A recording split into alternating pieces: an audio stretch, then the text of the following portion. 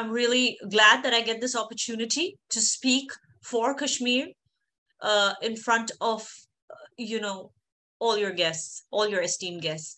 I would like to uh, s- straight away start talking about uh, whatever I've gathered, whatever I've experienced, uh, uh, the kind of questions that had been coming to me uh, from international forums, and gathering all of that understanding, I would like to begin. Uh, I totally get that the argument against abrogation of Article 370 from Kashmir stems from your concern for human rights in Kashmir. And as a Kashmiri, I totally appreciate your overwhelming concern for our rights. But be rest assured, truth be told, the government of India is doing everything it can to protect the rights of women in Kashmir who were living in a society that crossed all limits of patriarchy and entered the zone of radicalism.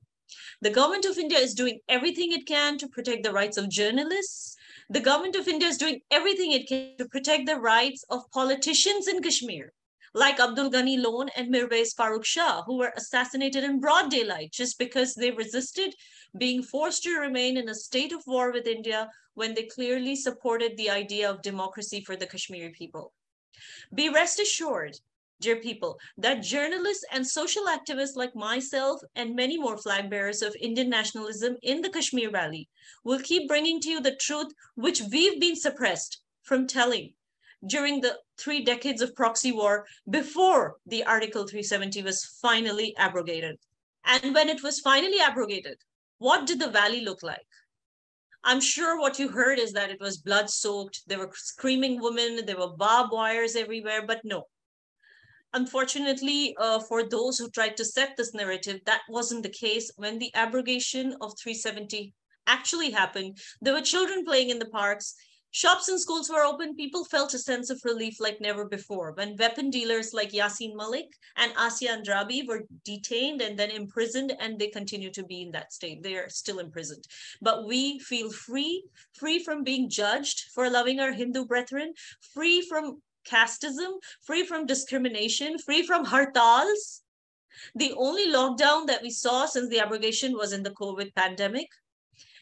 The downside of abrogation, however, remained the internet shutdown, which also was successfully restored after completing necessary national security checks and balances. In the political front, we look forward to upcoming and impending elections in which participants from newly formed parties like AINP, uh, Jammu Kashmir Workers' Party, etc., prepare to contest after bypassing the stringent dynastic politics that used to exist prior to the abrogation.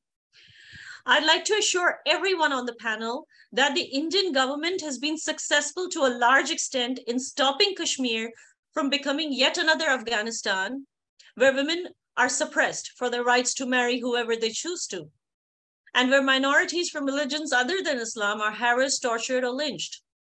The Indian government has successfully been able to stop Kashmir from becoming another Pakistan, where girls from minority communities are forced to marry older Muslim men, or where one sect of Muslims, namely the Sunnis, are free to violently attack other subsets of Muslims like Shias, Hazaras, and Ahmadiyya Muslims.